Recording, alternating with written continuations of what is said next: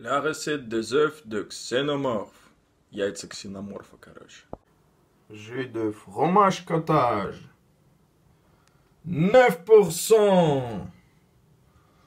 А, резкости нету них. Je le mets dans la petite assiette. Чтоб тебя. Voilà, c'est comme ça.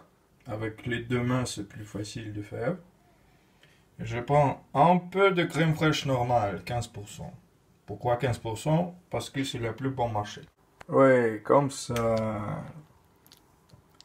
Je le fais, moi, toi. Maintenant, je prends un peu de... Qu'est-ce que c'est que ça? Oh. Je prends un peu de sel.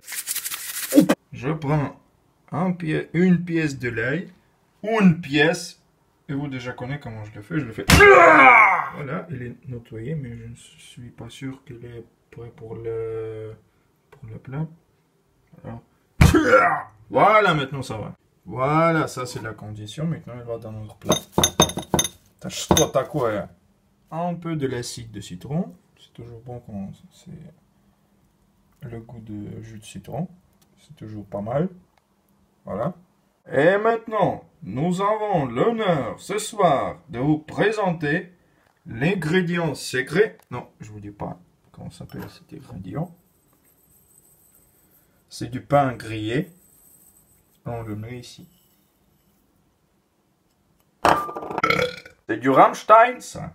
Voilà, j'avais intégré tous mes ingrédients dans la masse entière avec, les, ma fourchette. Et on passe à notre étape. Je prends des petites tomates je dois le couper comme ça. Charmant blé. Voilà, tous mes tomates sont prêts. Maintenant, je les mets dans le four. Oh non C'est une erreur.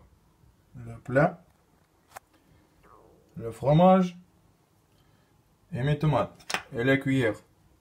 Et je fais juste comme ça. Je fais le gniezdo.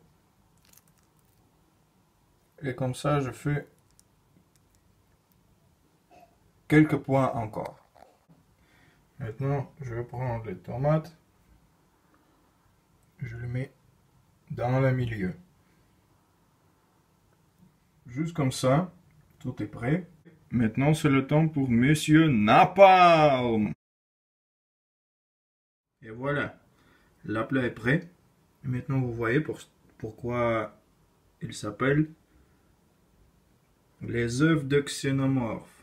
Теперь понятно, почему блюдо называется яйца ксеноморфа. C'est tout pour aujourd'hui. Écoutez-nous et souscrivez sur la chaîne.